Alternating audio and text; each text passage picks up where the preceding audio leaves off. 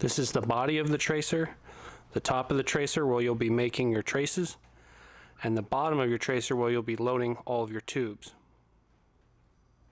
The bottom is a loose fit on purpose for ease of loading, and the top is a tight fit to guarantee a precise trace. When setting the pins, you want the pin length to be as short as possible, or you could easily overshoot.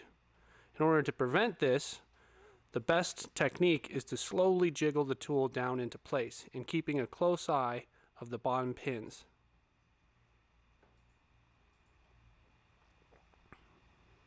When setting at a very shallow angle, preset the pins as shown. Then, once you're ready to make your trace, very gently push the pins into position, one pin at a time.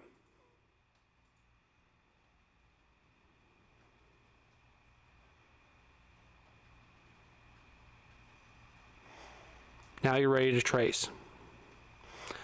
Load the tool, bottom end first. The bottom end is a loose fit to make it easy to load the pipe or tube.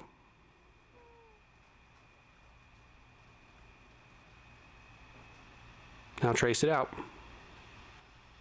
As shown here, the button and the laser are on the same side.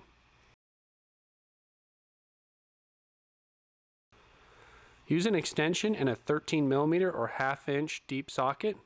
The extension and the socket are used to push the laser out of the tracing tool. You do not want to push on the laser. Make sure that the laser is pointing out the bottom of the tool. And after you're done making your trace, push the laser out.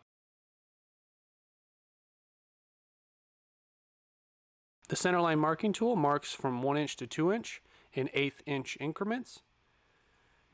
Use a half inch spacer to mark center from 2 to 3 inches and a 1 inch spacer to mark center from 3 to 4.